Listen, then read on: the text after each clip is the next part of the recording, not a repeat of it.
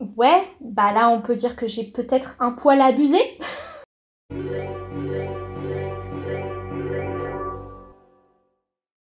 Salut la Pixie Army, j'espère que vous allez bien.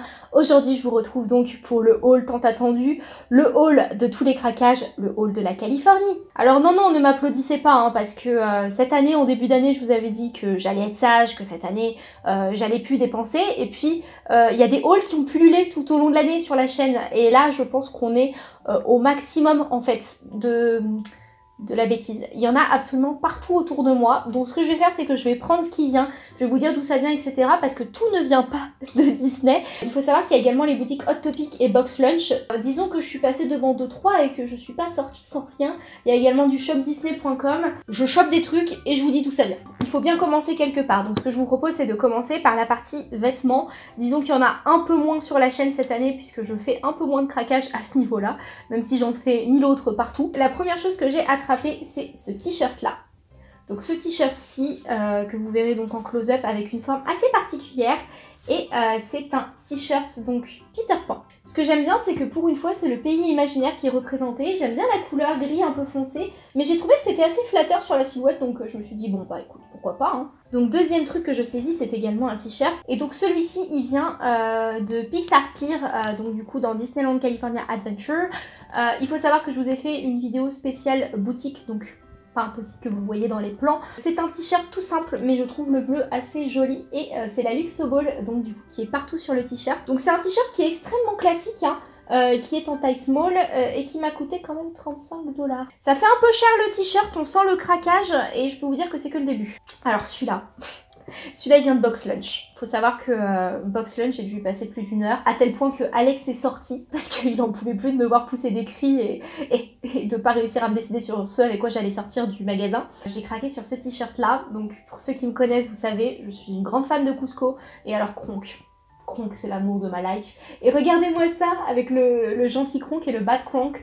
Et euh, je trouve vraiment trop trop joli. Ça change un peu de ce que je porte habituellement en termes de couleur et tout. Mais euh, je le trouvais vachement intéressant et je pense qu'il y a moyen de le mettre dans des jolis looks. Genre, est-ce que vous voyez faire un look de Saint-Valentin avec ce t-shirt? Moi oui. Encore un t-shirt, mais cette fois-ci un t-shirt de Disneyland Resort. Donc je l'ai vu qu'une seule fois dans une seule boutique sur Main Street et c'est celui-là. Donc c'est un t-shirt qui est très très vintage, euh, Marcel. J'aime bien parce qu'on a l'ancien design de Fée Clochette. Je le trouve très rétro, je le trouve très joli et euh, rentrer dans un jean taille haute et tout, euh, il a grave du potentiel. J'ai également craqué pour un jersey. Au départ je voulais pas, je me suis dit vas-y tu vas être sage, c'est bon, t'en as assez des jerseys. Tant qu'à faire, tant qu'à faire, autant en prendre un. Donc j'ai beaucoup hésité sur le modèle, je vous avoue. Au départ j'hésitais à prendre un, un peu plus flash et en fait... comme j'essaye de restreindre un peu ma garde-robe et de prendre que des choses que je vais porter au quotidien, bah, je suis partie sur cette couleur-ci que je trouve magnifique c'est entre le gris et le bleu. Il est trop beau. Alors par contre, j'ai l'impression qu'il taille encore plus grand qu'en France. Parce que là, c'est un small. Sauf que c'est un small qui me fait une robe en fait. Il est vraiment très très beau. Euh, j'adore la couleur. Et j'espère que ça inspirera Disneyland Paris de faire des couleurs aussi euh, un peu dans ce style-là. Mais clairement, euh, mieux taillé, ce serait pas de refus. Dernier petit achat vêtements, c'est une robe sur laquelle j'ai complètement craqué. En ce moment, moi et les robes rouges, c'est vraiment ma vie. En même temps, c'est l'une des couleurs qui me va le mieux et donc euh, j'ai craqué sur cette robe-là. C'est une robe Kexworthy. Euh, donc elle, je l'ai achetée à Disney Springs. Pour la petite histoire, je voulais me l'acheter euh, depuis le premier jour où je l'ai vue parce qu'en fait elle est faite par Leslie Kay, c'est la marque de Leslie Kay qui est la créatrice du Disney Bound. Le premier jour j'ai pas voulu craquer parce que je me suis dit bon t'as déjà dépensé 300 dollars avant une soirée, on va peut-être se calmer parce que j'ai dépensé tout l'argent que j'avais retiré au village dans l'heure qui suivait. Et, euh, et, donc du coup, euh, j'ai voulu après revenir et en fait je me suis aperçue qu'elle était sold out, donc j'ai eu très peur et le dernier jour j'ai réussi à me la trouver, donc j'ai foncé dessus. Et ce que j'aime bien c'est la forme un peu vintage, etc. Et euh, si mes souvenirs sont bons, je l'ai payé environ 45 dollars et je trouve que c'est très flatteur pour la silhouette. Alors, next, on va passer à ce que je vois euh, de plus imposant sous mes yeux, ce sont les coussins. Vous savez, j'aime bien moi me donner des défis un peu débiles. L'année dernière, à Disney World, j'étais partie avec une théière et ses tasses à caser dans ma valise. Là, cette année, je suis partie sur un délire de je vais prendre des coussins. Bah oui, bah oui, pourquoi?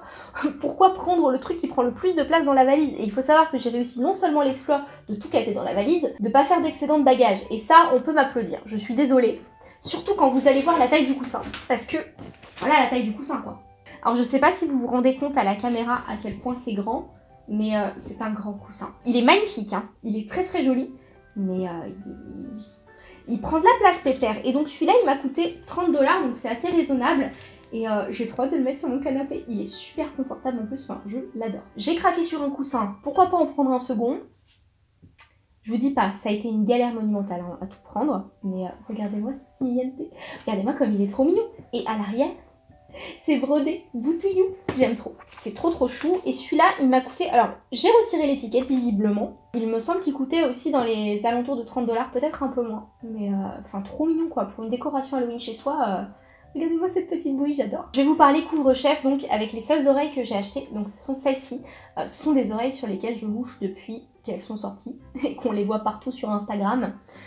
j'adore la couleur, j'adore le côté coquillage, le côté paillette.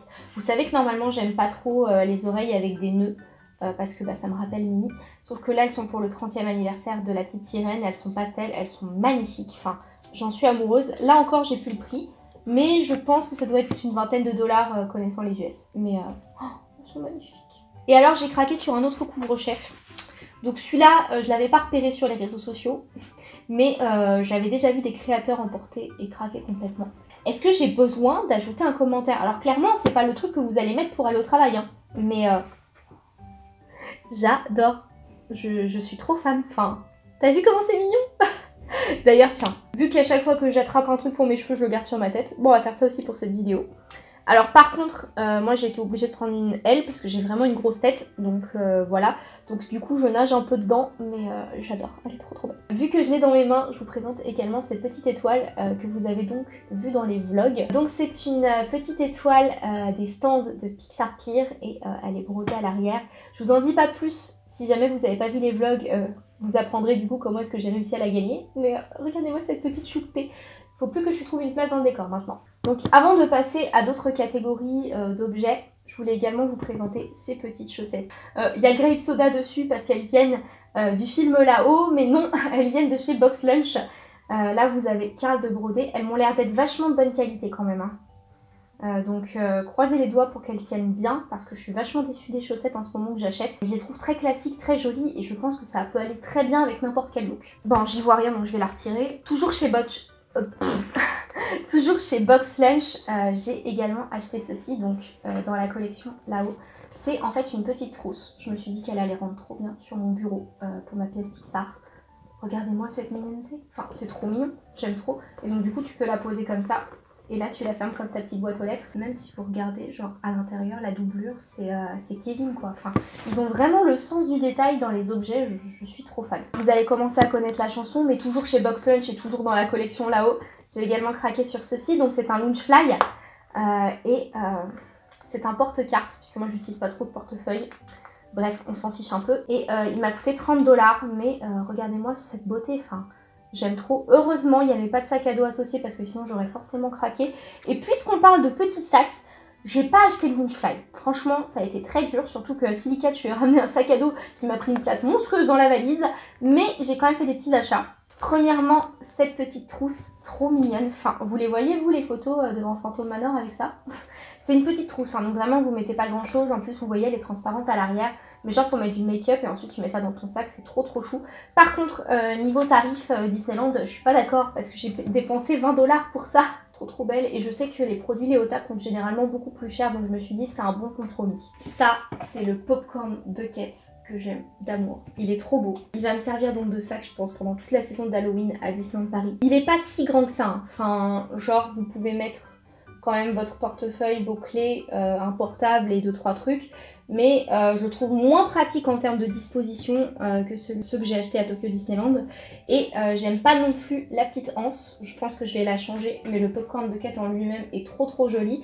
Il m'a coûté 19 dollars, sachant que moi je l'ai pris sans popcorn à l'intérieur et qu'ils n'ont pas fait de ristourne, donc c'est bon à savoir. Si jamais vous aimez pas le popcorn, sachez que vous paierez le même prix que si vous l'aviez payé. Il est trop trop chou, j'ai fait presque deux heures de queue pour l'avoir parce que c'était le premier jour de vente du popcorn bucket sur Disneyland Resort mais euh, adorable. Et alors dans les produits mode du parc, je suis tombée également sur une très très bonne surprise à Disneyland et Walt Disney World. Alors je savais pas qu'il y en avait à Walt Disney World, j'en ai pas croisé l'année dernière. Ils vendent des patchs maintenant pour mettre sur les vestes, etc. Et euh, j'en ai vu plein de très très jolis, donc notamment celui-là que je vais mettre sur une veste en jean. Euh, il m'a coûté très cher celui-là, il coûte 19,99$ en sachant que, bah, comme vous voyez, il est assez grand. Et vous avez également des lots de petits patchs, donc J'ai eu un dilemme cornélien avec moi-même parce qu'il y avait des patchs Cusco et que je savais pas si je les prenais ou pas. du coup, je les ai pas pris parce que je trouvais qu'ils allaient pas avec le style de celui-là et j'aimerais bien faire une veste avec plein plein de patchs. Mais regardez-moi cette merveille J'adore, je trouve ça trop trop joli. Donc ça, ça m'a coûté 20 dollars les 4, donc c'est un peu plus raisonnable que celui-là. Mais euh, trop trop trop trop beau quoi. Enfin, je suis trop fan, il y en avait plein de plein de styles différents. Donc je pense que là encore, euh, vous devez les voir dans mes rushs euh, de mes boutiques Disney préférées parce que j'ai eu un énorme coup de cœur sur ce genre de produit. Et là encore, si Disneyland Paris pouvait développer ça, ce serait juste génial. Donc je continue de saisir un peu euh, ce que j'attrape sous les mains. Euh, j'ai acheté des cartes pour pouvoir les mettre du coup dans ma pièce. J'aimerais bien faire un mur entier avec que des cartes, donc j'en ai acheté trois. En fait j'en ai acheté quatre, mais la quatrième du coup elle va sûrement être pour vous. Ah bah non, bah, j'en ai acheté quatre en fait. Donc il y en a une cinquième qui est pour vous. Donc j'ai acheté celle-là que je vais mettre par la suite dans un autre objet que je vais vous montrer. Celle-ci. Donc un assez classique avec marqué Disneyland dessus. Celle-ci avec les snacks Mickey. Et euh, moi j'ai surtout craqué parce qu'il y avait deux ou trois snacks qui me rappelaient euh, là-bas, notamment le... Il n'y a pas de Mickey Bretzel? Pourquoi j'ai acheté ça? Bon, on va dire qu'il y a au moins le Dole Whip et euh, la, la, glace Mickey, voilà. et il y a Figment, que j'aime beaucoup, avec Epcot à l'arrière. Donc Epcot, c'est pas un parc que j'aime pourtant tant que ça, mais vu que j'adore Figment et que les couleurs allaient bien avec les autres, je l'ai pris aussi. Et donc en fait ça m'a coûté 5 dollars à la carte. Et euh, là c'était vendu à Disney Springs et vous en aviez à Main Street dans une espèce de boutique qui ressemble un peu à notre Harrington local.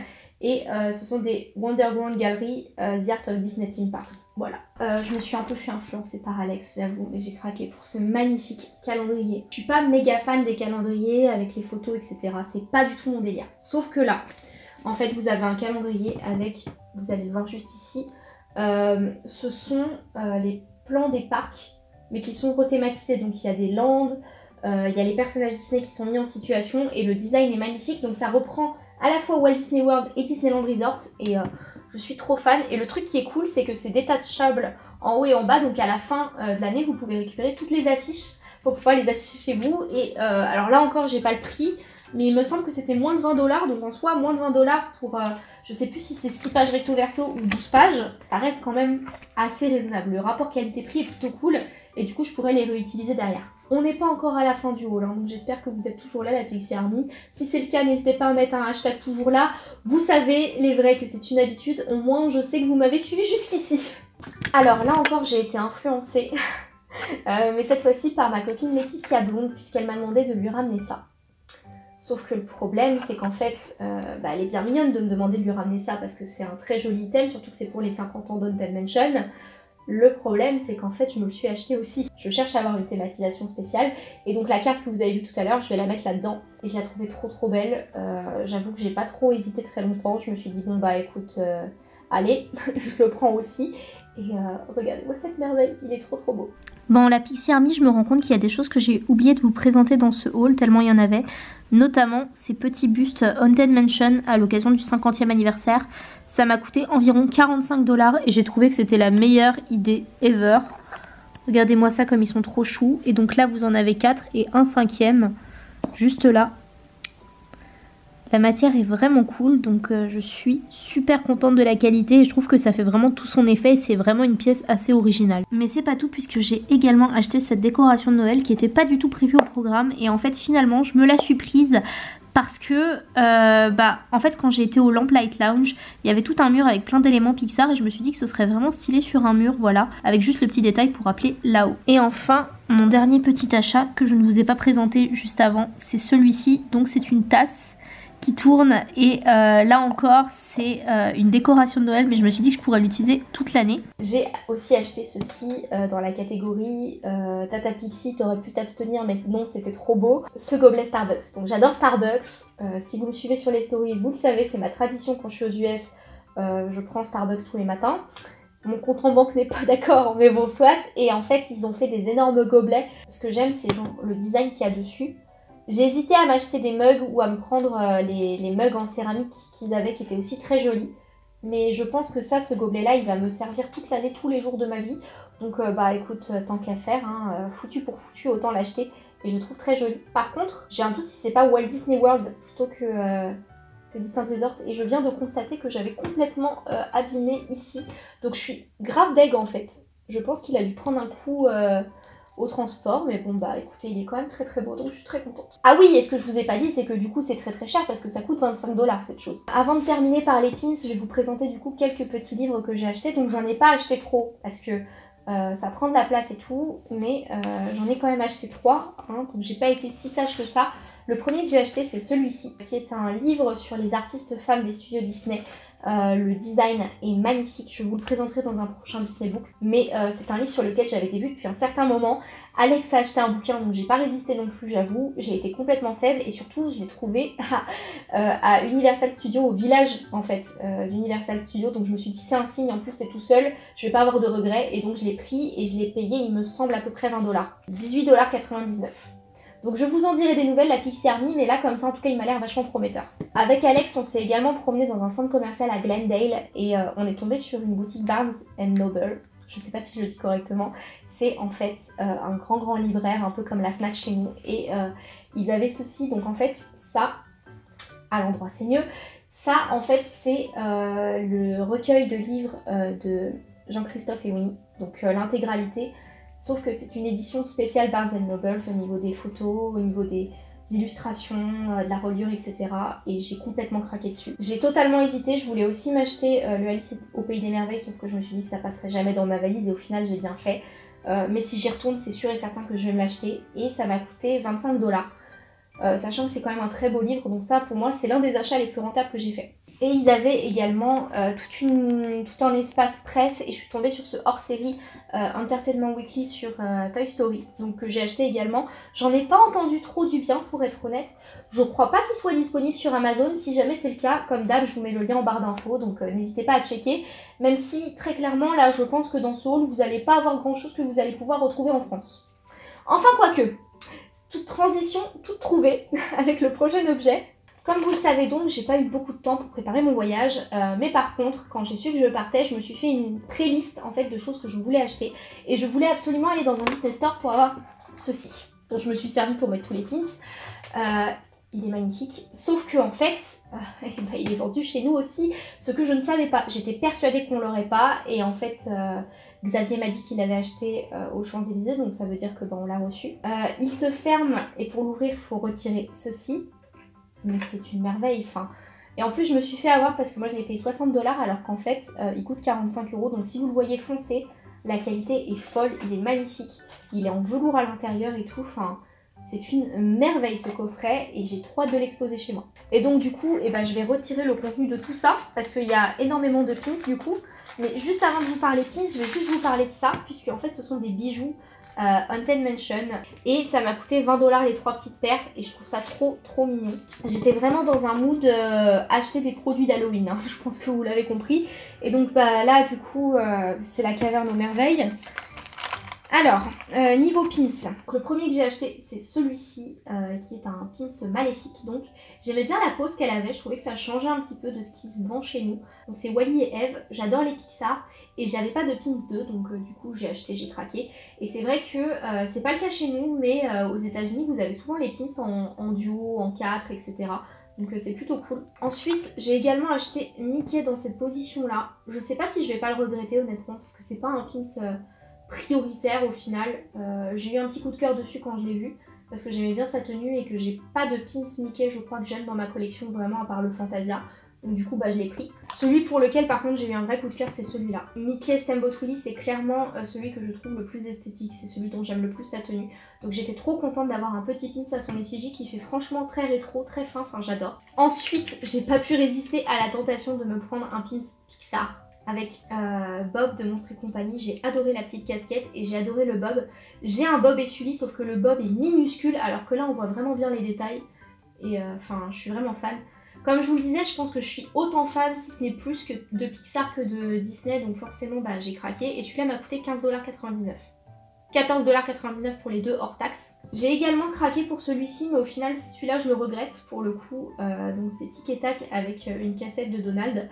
Je pense que ça c'était complètement un achat irréfléchi et soit je vais le trader, soit je vais le revendre, je sais pas encore. Deux pins au Capitaine Theater puisque j'ai pu faire la visite. Ce sera l'objet d'une prochaine vidéo, donc je vous en entendrai parler encore et encore, comptez sur moi. Mais donc du coup j'ai acheté deux pins euh, qui sont des exclusifs euh, de la boutique Girardelli. Donc le premier c'est celui-là qui est l'Otso, donc de Toy Story.